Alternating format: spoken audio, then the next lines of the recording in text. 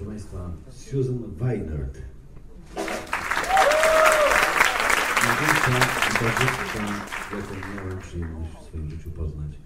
Ja ją po prostu kocham. Mam nadzieję, że Martin tego nie słyszał.